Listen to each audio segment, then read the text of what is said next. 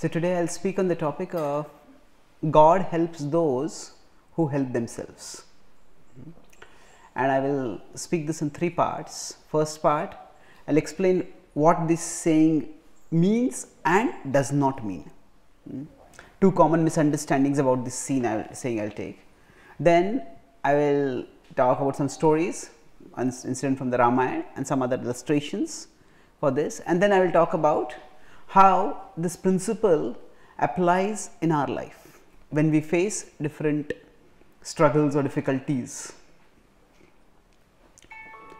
So, God helps those who help themselves. A few months ago, I was in America and I was speaking at a university and then we were talking about meditate I was talking about meditation and then one student asked this question that actually ultimately we have to help ourselves that God helps those who help themselves. So, what is the use of all this prayer, meditation, religion business? If we just do our work, then God will help us. We don't have to do any of this stuff, and if we just do all this stuff, but if we don't actually do our work, then is God going to help us? So, I answered, yes. When we say God helps those who help themselves, what it means is not that we don't connect with God or that we only connect with God and don't do anything else. Both these are extremes.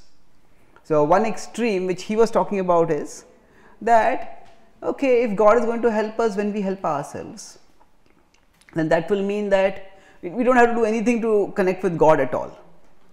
But we could add a sentence to this God helps those who help themselves by letting God help them. By letting God help them. So, the idea is that whenever we work in life, there are some things which are in our control and some things which are not in our control.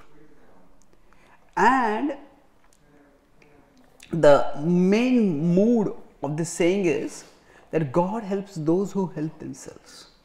That means what is in our control, we need to do as well as we can. That is the way we are helping ourselves. And that which is not in our control, then God will take care of that.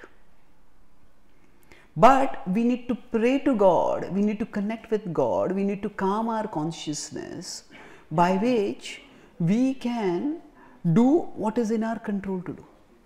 So, if somebody thinks that that a I don't need to connect with God at all, then at one level they are presuming that they can control everything, but nobody can control everything. So, therefore, the idea that we shouldn't connect with God at all, because for every in every activity in life, there are factors beyond our control. Australia has probably one of the most aggressive cricket teams if we consider sport like cricket. Now, of course, some cricketers got into trouble because of that, but uh, even this, even in the Australian cricket team was its heydays when they were very aggressive and they were known for their for their aggression on the field, for their sledging and other things. But even at that time, uh, many of the prominent Australian cricketers had their own peculiar superstitions. One of the Australian play, batsmen, whenever he would go out to bat, before going out, first he would go to the pavilion's restroom and make sure that the lids of all the commodes would be closed. And if he got out early, he would not go back to the pavilion, he would go to the restroom and if any of the commode lids would be open, he would go and blast his teammates. Why did you keep that open? Because of that I got out. now you may say, it's crazy. What is the position of the commode lid got to do with this? There's another Australian cricketer who was a very good fielder and he practically never drop catches. He would was all, all rounder also. So he would always have a handkerchief hanging out from his pocket and like half of it was out, half of it was inside. The very particular way he would put it there. And if any time he would drop the catch, he would never drop, but if he would drop the catch, Now, before looking at the ball, he would look at the handkerchief. Has it fallen off? How did I drop this catch? so now, what are they doing by this? Actually, in sports, performance matters. Sports is hugely about performance. The players train and do workouts and they learn skills so that they can perform. But even in a performance driven activity like sports, performance is not all that matters. There are factors beyond the player's best performance that can also shape the results. A batsman may bat very well and may be leading the team to victory, but if the rain occurs at that time, what can the batsman do? So, factors beyond our control shape our every endeavor. And God helps those who help themselves. What it essentially means is that we acknowledge there are factors beyond our control and they also need to work out favorably. Now, it's not only this that the factors out of our control need to work out favorably, and we pray to God to take care of those factors, but it's also that when we connect with God, we get a little more calmness, little more clarity, little more confidence, and even the factors that are in our control, we can do them better. Otherwise, if we are agitated, we can't even do the things which we could do.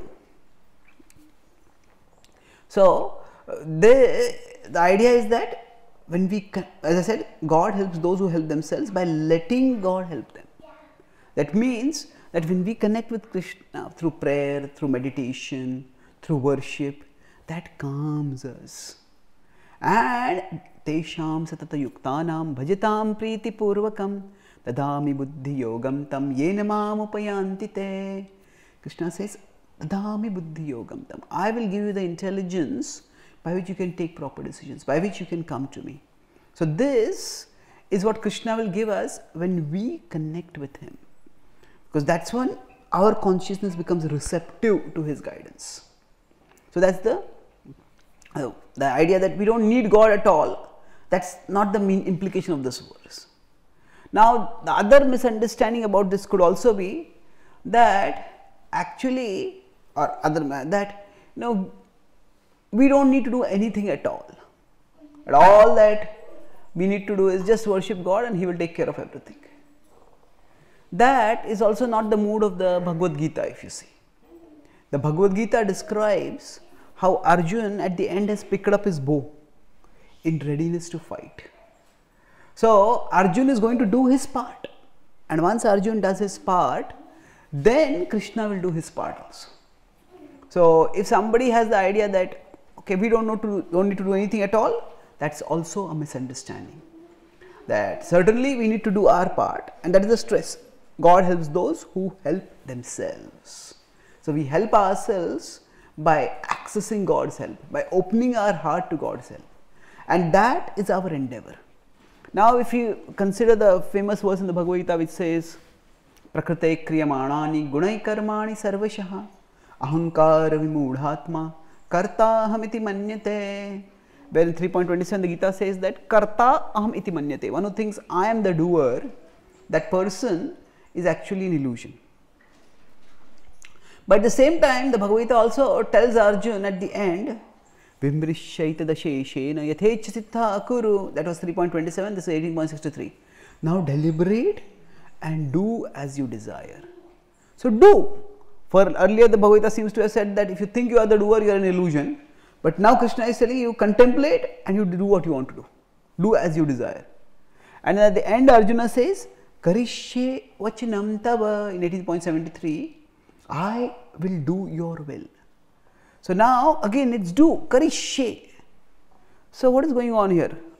If Krishna is telling Arjuna that one who thinks that they are doers are illusion, an illusion, but then he's telling Arjuna, now you do as you desire, and Arjuna is saying, I will do. So what is going on over here is that Krishna is calling as illusion one who thinks that they are the soul doers. 18 chapter 16th verse, Krishna says that तत्रैवं सति कर्तारम् आत्मानं केवलं तु यः पश्यत्यकृतबुद्धित्वान् न स पश्यति दुर्मतिः that one who think तत्रैवं सति कर्तारम आत्मानां केवलं तु यः कर्तारम means one is a doer and आत्मानां केवल one who thinks I alone and the doer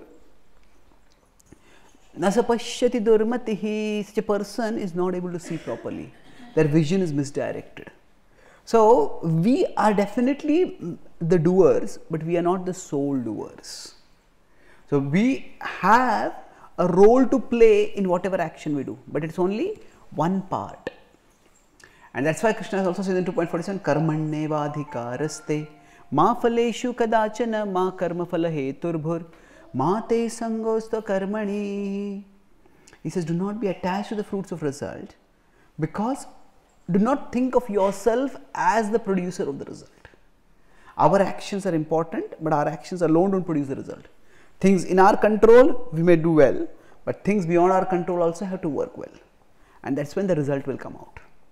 So, Krishna doesn't definitely asks us to do what is in our control. So, the mood of this verse is the, of this saying, God helps those who have help themselves, is that we do our part well and then we pray to God so that what is not in our control will also work out. And that's how results will come out, that's how success will come out. So, any comments or questions about this till now? Okay. So, now this is illustrated in many occasions. I will talk about an occasion where somebody had a lot of initiative and somebody had very little initiative. So, when we talk about things in our control and things out of our control, sometimes a lot is in our control and sometimes very little is in our control. In every situation, we focus on what is in our control. In the Mahabharata, there is the story of Arjun deciding on the 14th day of the Kurukshetra war to bring down Jayadratha. Now, why did he want to bring down Jayadratha specifically? Does anyone know?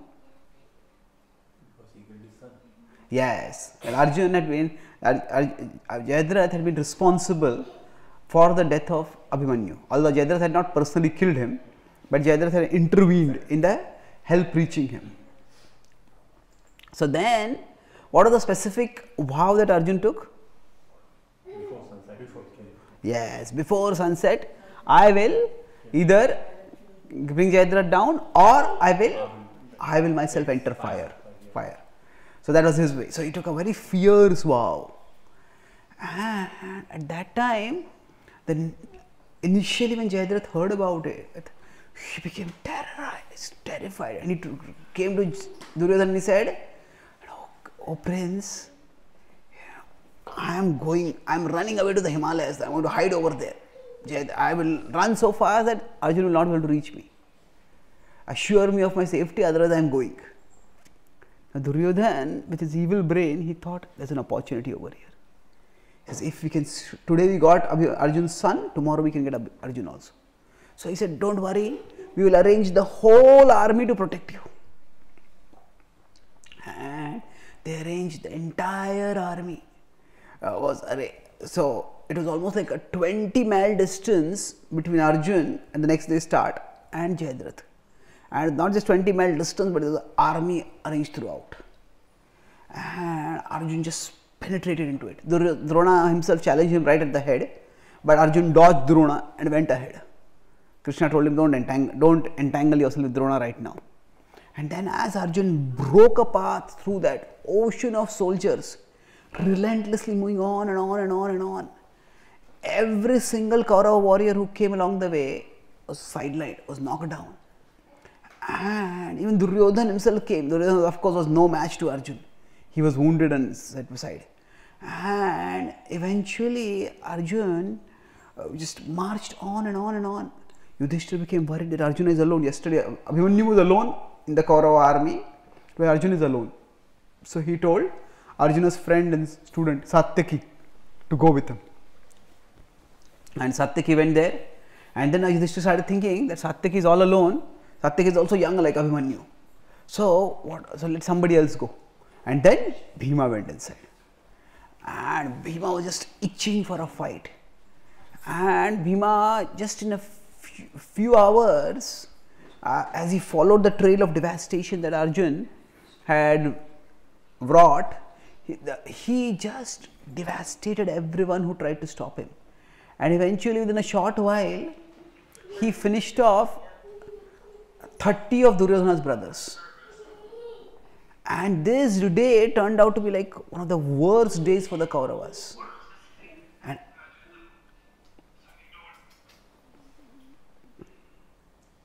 And as, Duryo- as Duryodhana was horrified, what is happening? Nobody is able to stop Arjun. So suddenly he looked up, he says, "Mm, maybe, maybe Krishna is God. He said, otherwise, how is it possible for one warrior to penetrate through our whole entire army and reach up to us? And then if really Krishna is God, how can I fight against him? What is the chance of victory in a battle against God? However, he was so determined to fight. Krishna ultimately responds with our desires. He's looking around gloomily and he saw the sun sinking towards the horizon. And suddenly thought came in his mind if Krishna is God, now Krishna loves Arjun and Arjun loves Abhimanyu. Arjun loved Abhimanyu. So, if Krishna were God, Krishna would surely have protected the son of his devotee. The fact that I was able to kill Abhimanyu means that Krishna is not God. and therefore I can fight. And immediately he called. He said, Yesterday we had six commanders attacking Abhimanyu. Now, Arjun is far better than Abhimanyu, so we will have eight warriors attacking him simultaneously. So he said that Drona and Kripa, you hold him from the front. He said Karna and Ashwathama, you attack him from the side. Then he said Shalya and Shakuni, you attack him from the other side. He said I and Dushasan will attack him from the behind. And they all suddenly swooped down on Arjun. And Arjun in the distance could see Jayadrat's chariot, rather its own standard, its own flag. So he was almost there. But suddenly, it's like a ocean of arrows started coming on him from all sides. Started fighting, trying to whirling round and round and round, spinning around, shooting arrows so fast. And when he was taking out the arrow, when he was placing it on his bow and shooting, nobody could see. But despite that blinding speed which he was countering, because so fierce was the attack that Arjun could just barely hold his position. He couldn't even move, he couldn't even see clearly. And Arjun was also conscious that the sun is sinking. Like in today's example, you know, it's like a final over of a cricket match. And the key batsman, there's some other batsman who's a, not a very good batsman, the non-strikers, he's on the strikers end, the key batsman is non-strikers end. You know, the, the batsman just play and get me on strike. But ball after ball after ball is going. And this batsman is what this good batsman is watching, but not getting the strike only. So Arjun was not getting an opportunity to strike at all. Just, just everything was just being blocked. So at that time, so close, and yet so far. And as Arjun started despairing, at that time, Krishna saw his devotee in trouble. Arjun had done everything possible for him. He had helped himself in every way possible. And yet, suddenly, at this last moment, the attack was overwhelming. So, Krishna immediately raised his hand and the Sudarshan Chakra appeared. Because there was so much action going on all around, nobody noticed it. And Krishna just flung the Sudarshan Chakra and it went high into the sky and it went and covered the sun. Some people say that was the exact time when a eclipse occurred, a solar eclipse occurred. But the warriors were fighting, they were expecting sunset, and suddenly the darkness enveloped the field. And immediately the Kauravas started cheering, jumping in joy. And Jayadratha, had been hiding behind fearfully all this time, suddenly came forward and he started mocking Arjun, he said, You are going to kill me? Now I will light your fire for you, fire for you, and you will enter into it. Now Arjun was confounded. In dejection, started putting down his bow. And Krishna spoke in a very urgent tone without looking back at him. He said, Arjun, there is still time. Just place the Brahmastra on your bow. And pointed towards Jayadratha. Now, knew that there are certain times when no questions are to be asked. so, if Krishna is telling me something must be going on over here. And then he said that hit Jayadrath's head in such a way that Jayadrat's head will not fall on the ground. It will go several miles away from here. His father is sitting in meditation and let this go and fall on his father's lap. Let the so Arjun took the bow, raised it, put the Brahmastra and shot the arrow. And as he was about to pull the string, Krishna removed the Sudarshan chakra. And the last rays of the sun started streaming across the battlefield. And the Kauravas were shocked. What happened? But even before they could react, Arjuna had shot the arrow.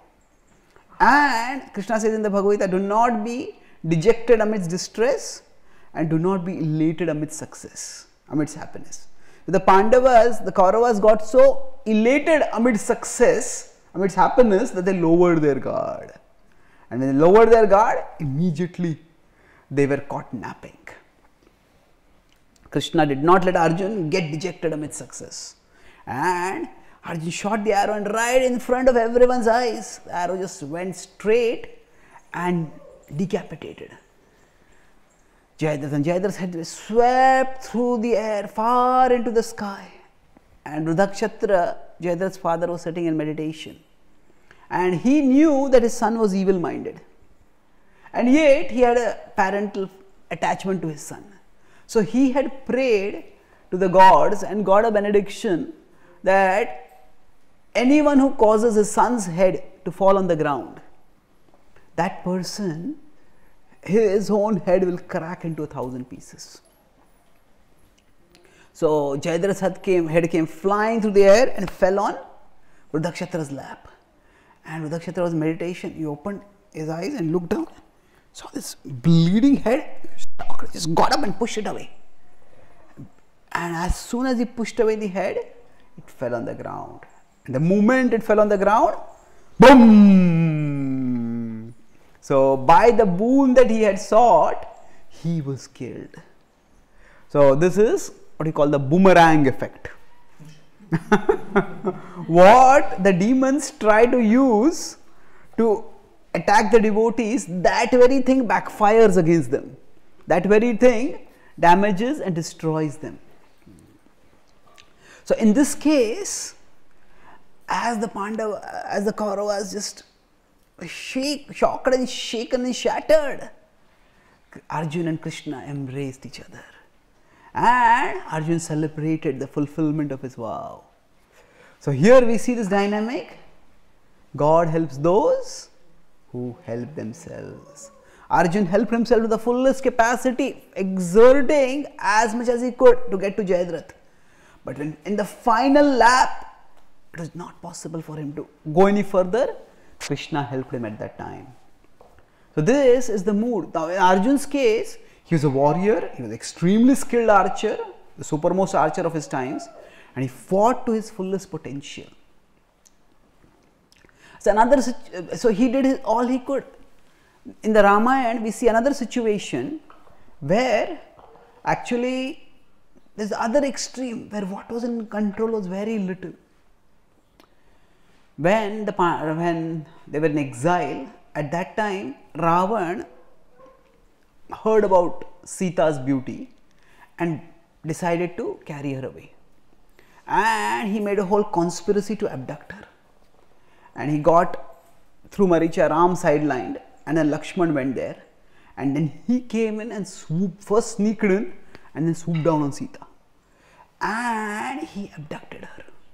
And as she was being abducted, now she, Ravan was a fierce, powerful, brutal demon, and her strength was no match to his.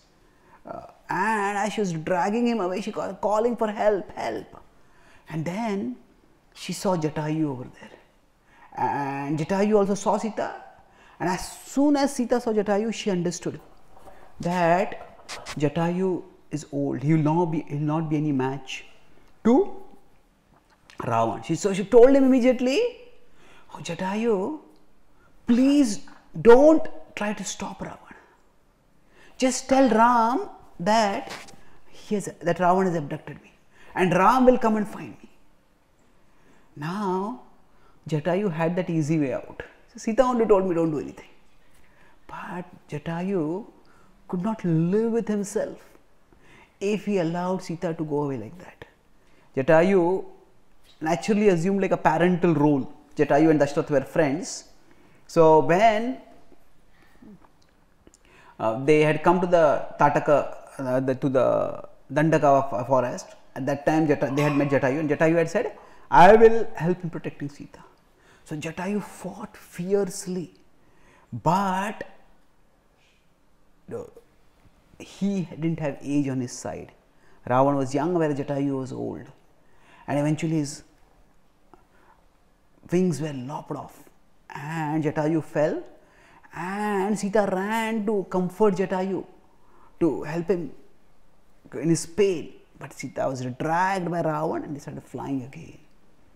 Now, now Sita, she could have gone, she could have crumbled under this. First of all, Ravan had abducted her, and and then Jatayu had also been wounded and probably killed in trying to protect her. She's been calling out frantically for Ram and Lakshman. Nobody was coming. And sometimes when a bad thing happens to us, and everything that we do, nothing seems to be helping.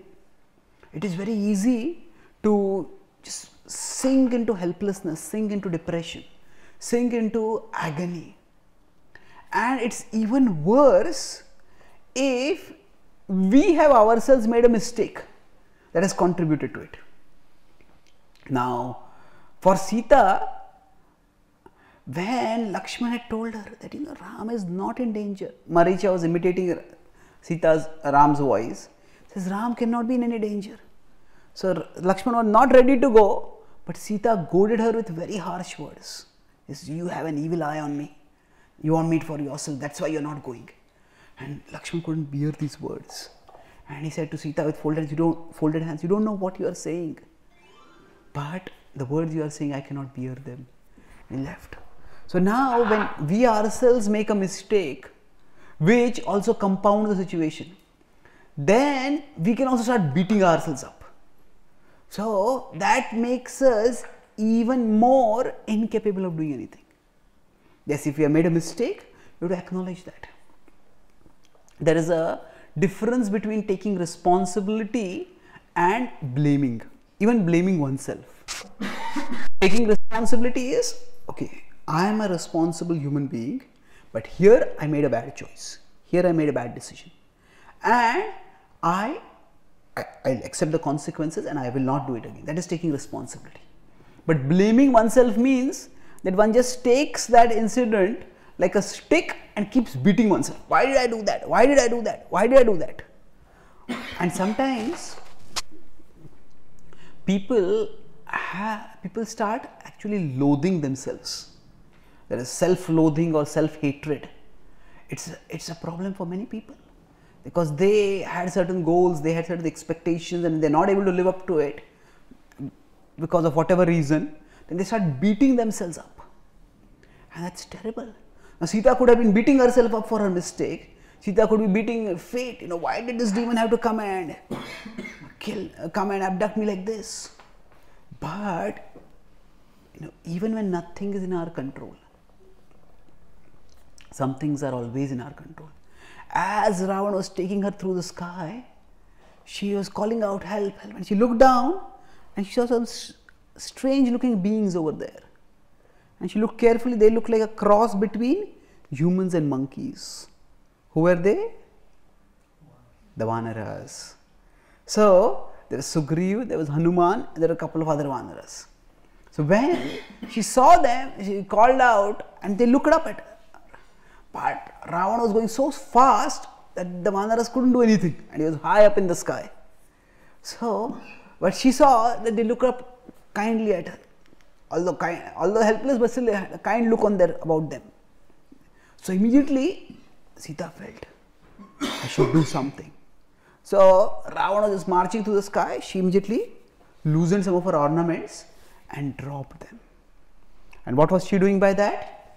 She was giving a clue for Ram to find her. So even in her helpless situation, she did what she could. And by that, immediately as those ornaments fell down, Sugriva and Hanuman went, found the ornaments, and they kept them safely. And later on, when Ram was searching for Sita, he came there and he told Sugriva about what had happened. And Sugriva usually brought out the ornaments. Ram broke down on seeing those ornaments. But from that emerged a greater eagerness in him. That, because when Sita had been abducted, he didn't even know whether Sita was alive or dead. But when he knew that Sita had been going all along the way, then he understood that demon had not just taken Sita to devour her, not to kill her. He wanted her alive. That means she would probably be alive still. And thus, Sita, even within her constrained situation, did what she could to help herself. And the clue that she kept, Ram found it, and eventually Ram found her also. So, for each one of us, sometimes the situation may be so constricted that we feel, What can I do in this situation? That I am so helpless, there is nothing I can do. So, this is uh, the second point I told till now, these two stories, for one from Ramayana and one from Mahabharata. And then now I am coming to the last point. The last point is how does this apply in our lives? Sometimes we feel that there is nothing in my control. Mm. Now, when we feel like that, we can ask ourselves a question. How many of you have felt a situation like this in your life sometime when nothing seems to be in your control and everything is going wrong? Yes. Okay, all of us have felt that. nothing seems to be in our control. Now, when we feel like this, nothing is in my control, you can just turn around and ask yourself, you know, no matter how bad things are, can we make them worse? What kind of question is this? but it's a serious question. No matter how bad things are, can we make them worse? Yes. yes. No matter how bad things are, we can always make them worse. I might get a fracture and I might be on bed, immobilized. I may feel I'm helpless. But while I'm on my bed, my, my foot is fractured now I can take that same foot and hit a bat on it. and that can make it infinitely worse. So the point I'm making over here is it's a counterintuitive point that no matter how bad things are, we can always make them worse. And that means we are not entirely powerless. If we can make things worse, that means we can make things better also. That feeling that I am completely powerless is what makes us powerless. But by this shock exercise, can I make things worse? No, no matter what situation we are in, we can surely make things worse. No doubt about it. So, if we can make things worse, that means we are not powerless. And if we have the power to make things worse, we also have the power to make things better. And what does it mean, the power to make things better? See, at one level, even if everything else is out of our control, our own consciousness and our presence of mind, they are always in our control. When things go out of our control, if our mind gets attached to those things and mind starts worrying, this is out of control, that is out of control, that is out of control, that is out of control. Then by that, if we keep thinking thinking of the things that are out of control, our mind also goes out of control and that's what makes things worse. But if we can keep our mind in control, if we can calm ourselves down, then we can look for some opportunity even in that situation. And for this, when very little seems to be in our control, one when we are going through bad times, when we are going through unmanageably bad times, we need to divide our frame of reference to manageable units of time. I'll repeat this that when we are going through unmanageably bad times, we need to reduce our frame of reference to manageable units of time. What do I mean by reduce our frame of reference? Say if you go, if you have fallen terribly sick now, say we got a fracture and we are immobilized, and then if we start thinking, oh you know, oh, eh, if I can never walk again, if I always stay on bed, what will I do? How, after one month, what will happen? After six months, what will happen? After one year, what will happen? Well, don't think about one month, six months, one year. Because when things are out of control, there are too many vari- variables. And thinking, there is a time to think long term, but there is a time to think short term also. So at that time, just think in terms of one day or if not one day, just think in terms of one hour. In the next one hour, can I do something by which I will not make things worse? Can I not mess up things for the next one hour? Yes, I can. Can I make things, can I act in a proper way, responsible way? See, all of us know most of the times when we are responding wrongly. See, if bad things have happened to us, and then we start behaving badly with others. We start becoming rude, we start becoming short tempered. We know that we are not behaving properly. But we, it's we ourselves feel so burdened, we ourselves feel so crushed that somehow, somehow we want to vent things out. But the problems of today can always be dealt with today. It is only when on top of the problems of today, we put the problems of yesterday and the problems of tomorrow then even the problems of today seem unbearable. It's like say if we have this carousel where we get the baggage claim. Now in the baggage claim there will be 100 bags over there and our bag comes, we pick our bag and we can walk. But before our bag comes, if we start picking up all the previous bags also, put them on our trolley and then our bag comes and after that we keep keeping other bags also and so one bag on the trolley, there are 25 bags. And then we try to push that trolley. It will be impossible, isn't it? So just take out our bag. So similarly, just focus on the problems of today.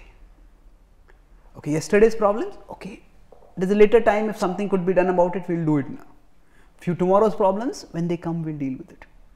So just reduce your frame of reference to manageable units.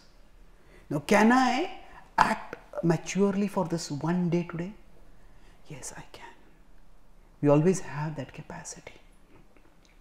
So, when we do this, then we will ensure that we won't take, at least we will ensure that we don't make things worse.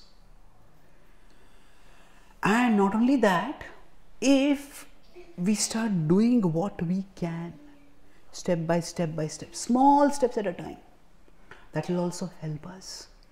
And as we said small things right keep doing small things right eventually nothing stays bad permanently. The pleasures of the world are temporary and the troubles of the world are also temporary. Sometimes we feel there's a dark a total darkness in our life even if the darkness is there the darkness is never like a dungeon the darkness is like a tunnel it, now, when we are in the dark, we may we can't make any difference. Is this a tunnel or is this a dungeon? Especially the end of the tunnel is far away. Both may appear to be equally dark. But the difference is a dungeon it's closed from all sides. But a tunnel is a path. Just keep walking on the path, walking on the path, the tunnel will end. There will be light, there will be light at the end of the tunnel. So similarly, when we divide our unmanageable problem into manageable units of time. Okay, this darkness, I don't know how far it is, but for this one day, can I walk steadily in this darkness? Yes, I can. One step, one step, one step. Just do it one step at a time. And if we do it, eventually we will find that the darkness will get over. And this is where our devotion can play a very big role.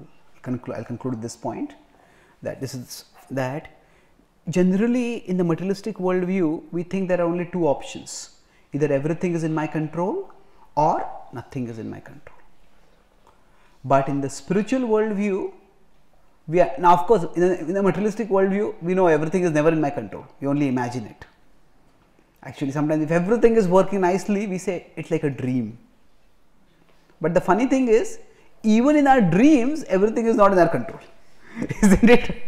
Even in our dream, some things happen which are not in our control. So, actually, everything is never in our control. But we basically think of things in two perspectives either things are in my control or things are out of my control.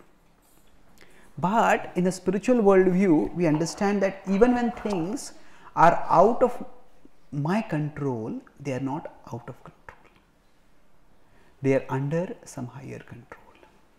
There is a higher plan. And by that plan things will work out positively. So uh, everything that happens is not necessarily good.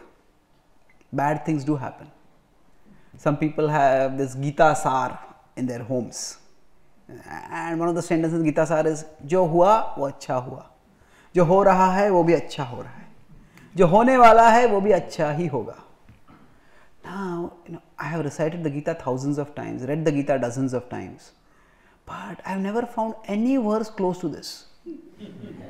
There's nothing like this in the Gita at all. So, something that is not present in the Gita, how can that be the essence of the Gita? It is a good sounding saying, but the essence of the Gita is not about what is happening to us. The essence of the Gita is what we are going to do. But Arjuna was undecided, Arjuna became decided about what to do. So, to say that everything that happens is good, it might sound good, but it's not exactly good. If somebody somebody starts drinking and becomes alcoholic, is that good? That's bad. If somebody drives drunk and kills someone, is that good? That's horrible.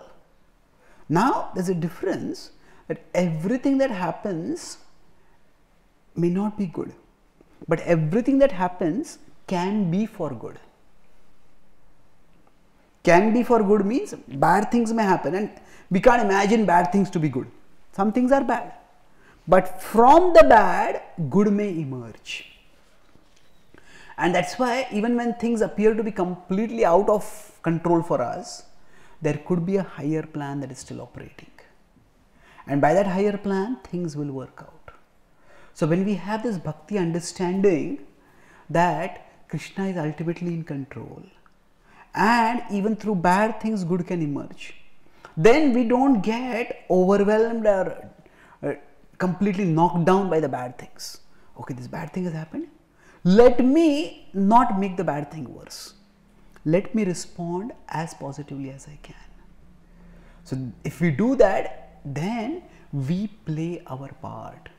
So if there is something we can do to help ourselves we do that.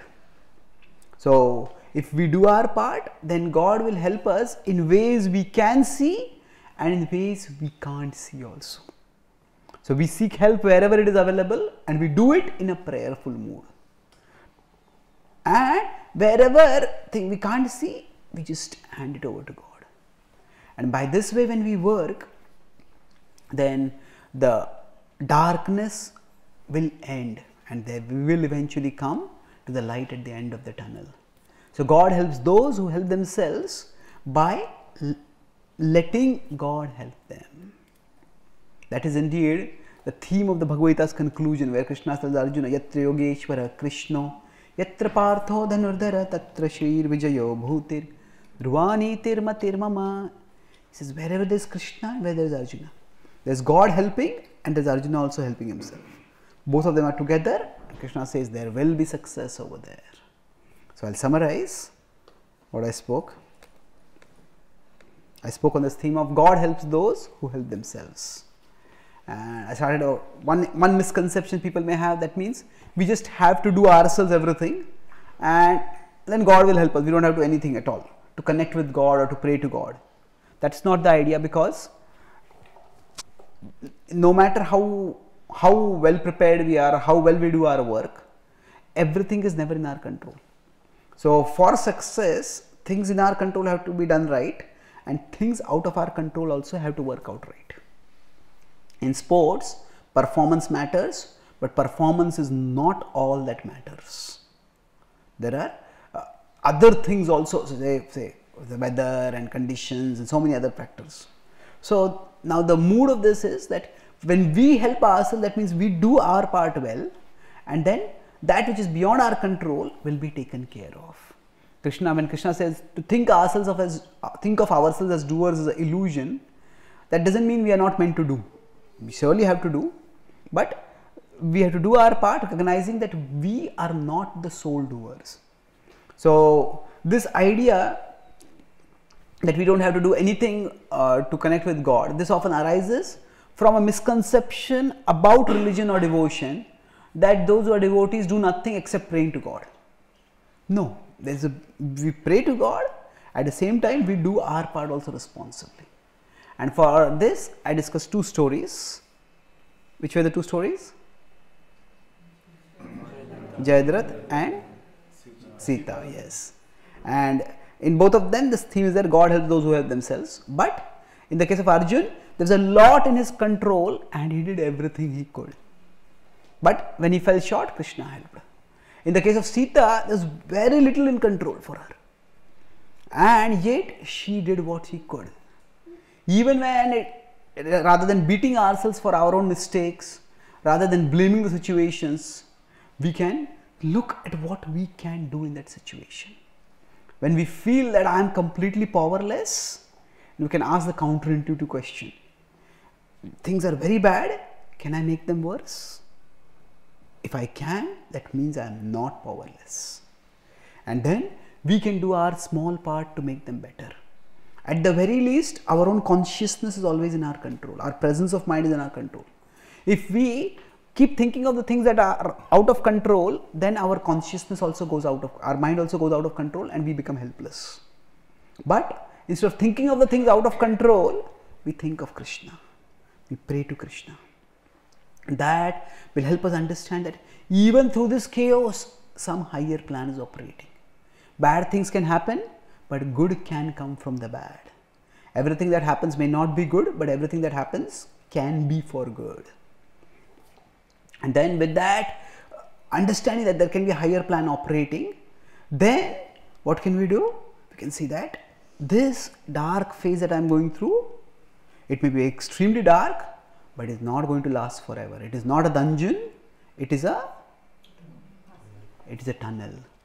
And then when we face unmanageable problems, when we go through unmanageably bad times, we can decrease our frame of reference to manageable units of time. That don't think about what will happen after one month, three months, six months, one year. Just focus right now on one day. The problems of today are always manageable today, provided we don't pile the problems of the past and the future of yesterday and tomorrow. We just have to take our suitcase from the carousel, not all the other suitcases over there. And when we act in this way, uh, then we will find that not only will Krishna bring good out of the bad, but Krishna will also guide us to keep taking small, small steps positively. And by that, we will emerge from the dark phases. When we help ourselves by connecting with Krishna and doing our part in His service, Krishna will help us in ways we can foresee and even in ways that we can't foresee. Thank you very much. Hare Krishna. Any questions or comments? Yes. In this example of Krishna helping Arjuna, Hmm. can we frame in Gajendra Moksha here? Like say, like Gajendra was in the beginning at one extreme, like believing on its, own strength. As time moved on, it started to surrender to the Lord. Hmm. So, does it fit or because Good example. More of an surrenderingness? A good example. See, if we say Gajendra Moksha, can we say that he was initially at one extreme saying, I will try everything, and then at the end, he just surrendered to Krishna. yes, you could say it that way, but even surrender also requires trying. If he had just given up, he actually didn't give up, he actually looked up. Normally, when we give up, it is just that we sink in self self pity and then we just become dejected. So, in essence, he didn't give up, he gave up to look up and to call out to the Lord, and that requires endeavor also. So, in bhakti, there is a dual dynamic that there is dependence on Krishna and there is also diligence for Krishna. And both are integral to devotion. So, for the things that are in our control, we need to have diligence to do them as well as we can. When Arjun was practicing archery, he would practice painstakingly. All day he would learn, all night he would practice. That's how he became the champion archer. That's how he got the name Gudakesh. So at that time he was not thinking, no, oh, I'll shoot the arrow, Krishna, you make it hit the target. You make it hit the target. Not like that. He, he was practicing painstakingly. And that diligence was also his devotion. So, for the things that are in our control, we need to be diligent. And for the things that are not in our control, we need to be dependent. And sometimes, in some situations, we may think that the situation is in my control. Now, then we may keep trying, trying, trying, and eventually we realize that it's not in our control. And then we may surrender to Krishna. So, it's a if you consider are two, Draupadi was also in a similar situation. She was trying to protect herself, and when she couldn't protect, she surrendered to Krishna by raising her hands. But there's a big difference between Draupadi's consciousness and Gajendra's consciousness. Gajendra was completely in an enjoying mentality at that time. He was out there in the in the lake for a picnic. Draupadi throughout was in a dharmic consciousness. Now she was trying to persuade everyone to see dharma. How can you let an atrocity like this happen? And she was trying to reason with them. What is the dharma over here? If Yudhishthira had already gambled himself, and how could he have gambled me? So it was not that Draupadi was not surrendered before. It was out of her surrender itself that she was trying to stave off that calamity. So it is not that Arjun was not surrendered when he was fighting. So Gajendra was in materialistic consciousness and that emergency put him in spiritual consciousness. Hmm? But with respect to Arjun or Draupadi, throughout they were in devotional consciousness only.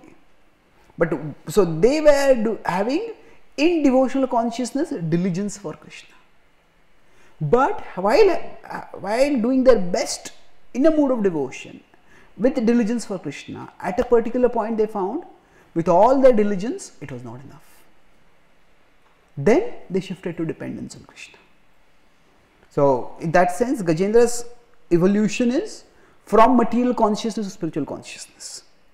Whereas Draupadi or Arjuna, it is always spiritual consciousness, but from diligence in spiritual consciousness to dependence in spiritual consciousness. So, in that sense, it's a different journey, it's not a similar situation. So, for all of us, we may sometimes be caught in in the doership mentality i can do it and we don't even think of krishna. But then when things don't work then when we, we become humble and we pray to krishna. So we often usually go go from uh, go from material consciousness to spiritual consciousness like gajendra.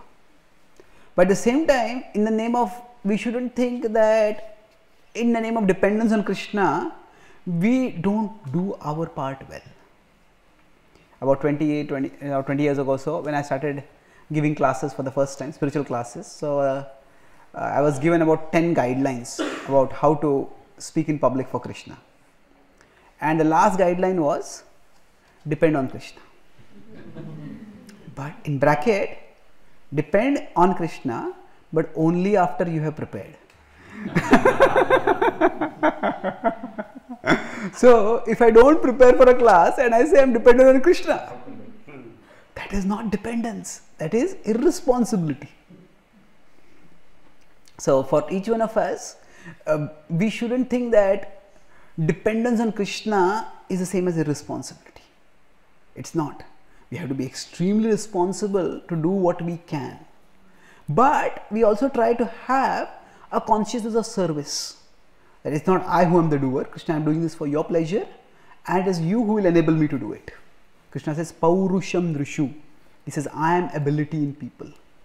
So even when we are able to do something with our own abilities, our abilities are not ours actually. They are actually, our abilities are not our entitlements, they are our endowments. They have been given to us, gifted to us.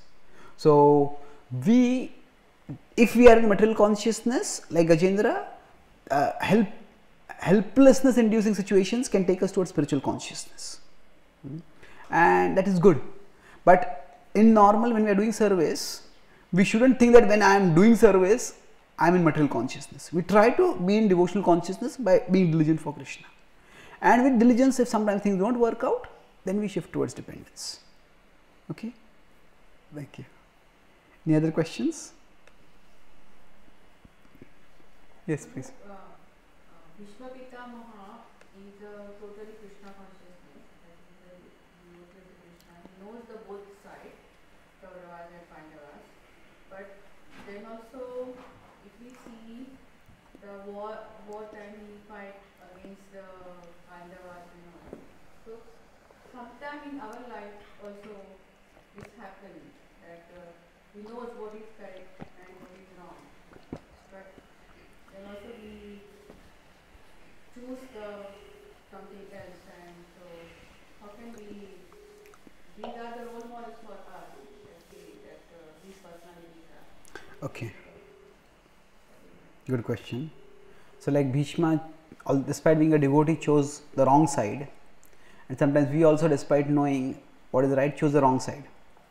So, what do we learn from our role, role How can we learn from our role models properly? First of all, a very important principle to understand is everything in scripture is not the teaching of scripture. Everything in scripture is not the teaching of scripture. Scripture has a descriptive section and a prescriptive section. Description means these were this is how things were at that time. Now, but that doesn't mean necessarily mean this is how we should act. So that is just description. And then there is prescription. Prescription is this is how you should act. So to give another example, some people say Yudhishthira was Dharmaraj and he gambled. So why should we gamble? Why can't we gamble? But if you see the thrust of the Mahabharata is Yudhishthir was Dharmaraj. But still when he got into gambling, he was so caught by the fever of gambling that he lost everything.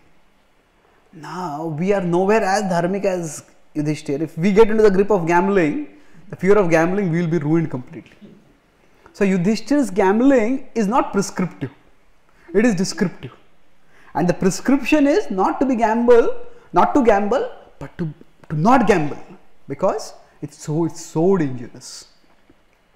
So similarly, with respect to Bhishma, he is a great devotee, but the at the same time, the Mahabharata does not idealize its characters.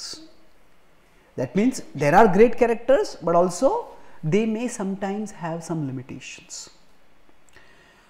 Now, the the epics, the Mahabharata, Ramayana, and other epics, Madhvacharya says in his Brahma Sutra Bhashya, his commentary on the Vedanta Sutra, that they can be understood at multiple levels. We can take them at literal level. This is what happened. Just hear it, relish it, and you will get purified.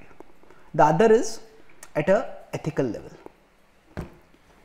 Ethical level means that we look at it from ethical perspective. This was the situation. This person acted like this, and this was a wrong action, and we should not act like this, or we should act like this. So, at the literal level, if we take it, we just say everything is orchestrated by the Lord. It is the Lord's Leela, and we just hear it and relish it. That's one way of looking at it. That's perfectly valid. From that perspective, whatever Bhishma did was also a part of the Lord's plan. And Bhishma acted in that way, because the Lord ultimately wanted to demonstrate that, especially remained silent when Draupadi was being disrobed. So uh, uh, he did not protest, he did not oppose strongly at least, because the Lord wanted to demonstrate that even when we have many protectors, we may end up with no protector except him. And later on, when Bhishma fought against the Pandavas, so Bhishma was was a warrior who had been trained by the greatest warrior Parshuram in warfare, and he had been trained by the great sages in Shastra. So he was expert in Shastra and Shastra. And yet, when he chose the side against God, he was going to be ruined. He was defeated. He was defeated. So, the point which is being taught at the transcendental level, at the Lila perspective, is that no matter how great a person may be, if they choose the wrong side, they will perish. Now, having said this, at the ethical perspective, if you see, then Bhishma was what you could call a literalist in some ways. Literalist means he would always stick to the literal word of the law. So sometimes he said stick to the letter of the spirit, letter of the law, and not to understand the spirit of the law. So it's important to understand rules in the context of the purpose of the rules. So sometimes if we just stick to the rule and forget the purpose, then we may get lost. That means, see the rule is like the is like the road, and the purpose is like the compass, which tells us the direction.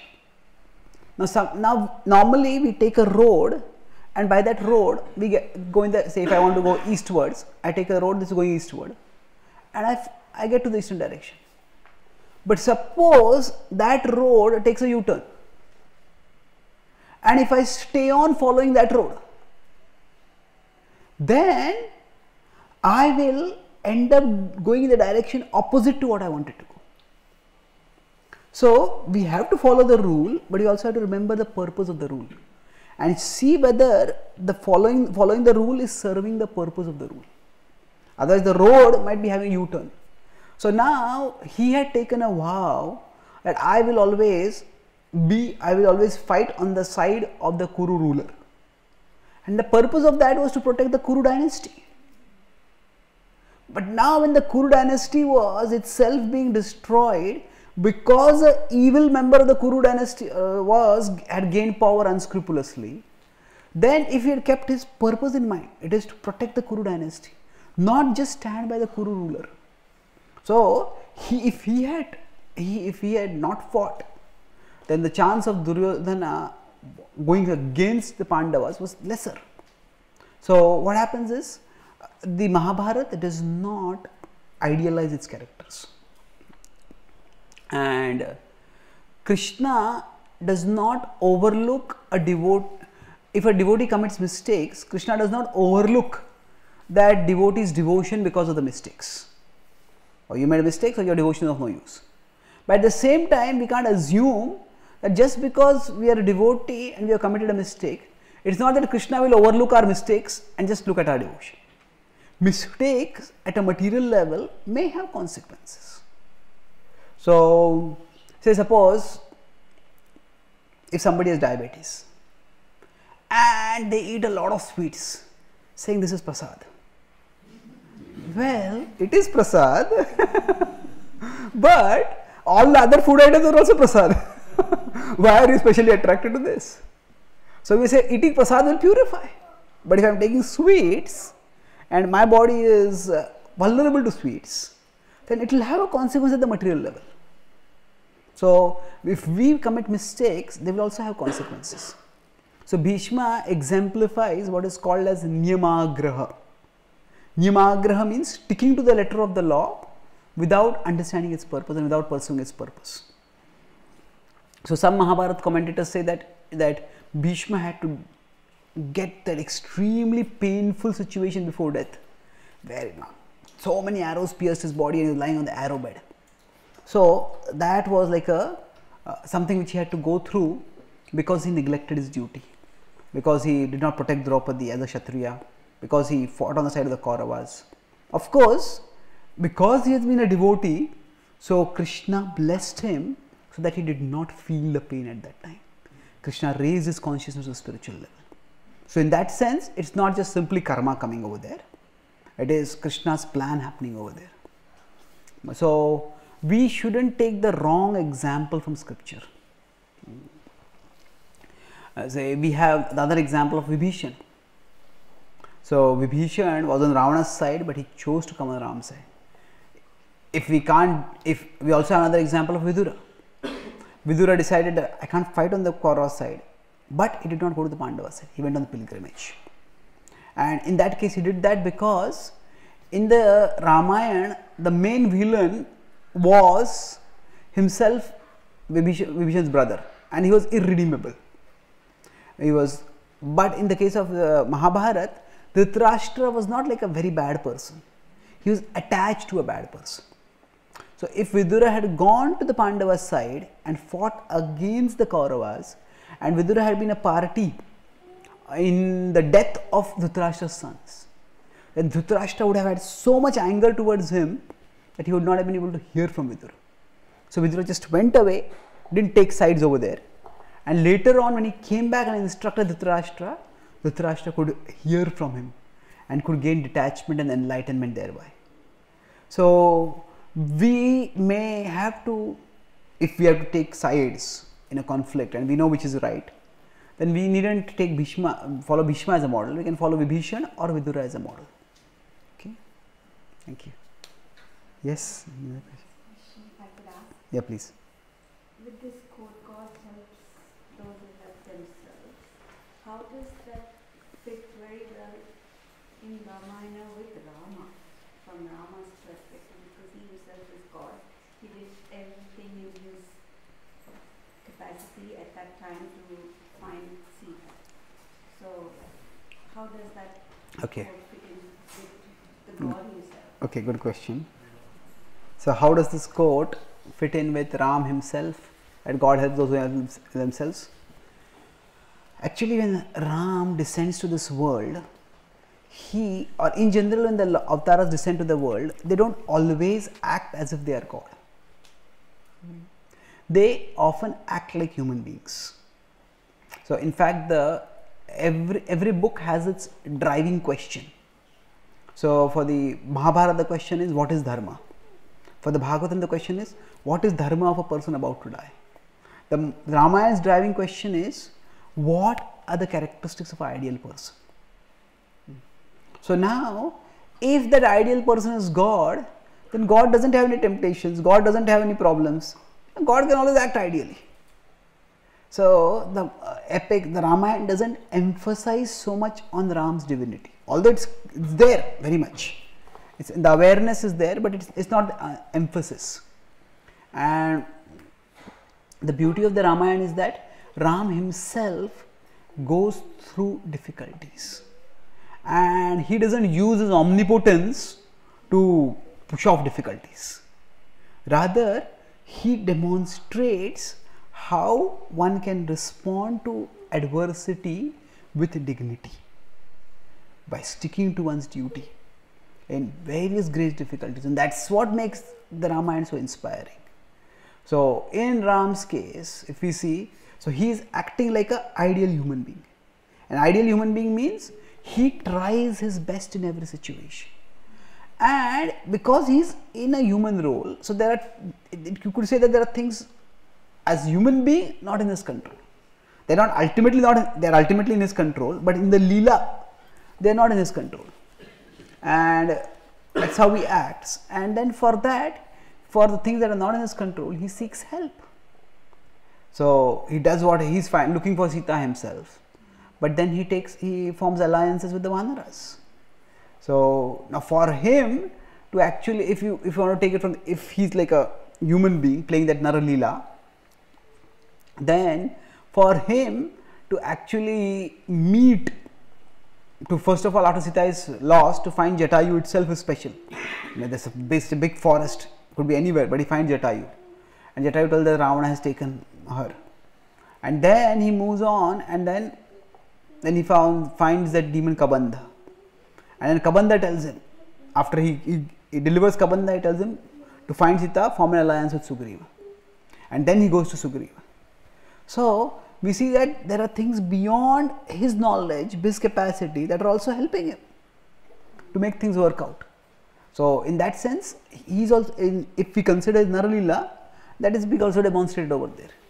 When the Vanaras whom Rama has sent, even for them also, when, or later on when Ram is fighting the war, he is shooting again and again at Ravan's heads, but Ravan's heads are reappearing again and again. Then finally, Vibhishan comes and tells him. He is doing his best to bring Ravan down, but that is not uh, working, then someone else helps him. So we could say it is things which are in, beyond his control that are also working out right. So Vibhishan tells him, shoot, his head will keep reappearing, you know, shoot in his heart, shoot. And that's how he fells Ravan. So we can see that in his Narlila also this principle applies. Okay. Any other questions?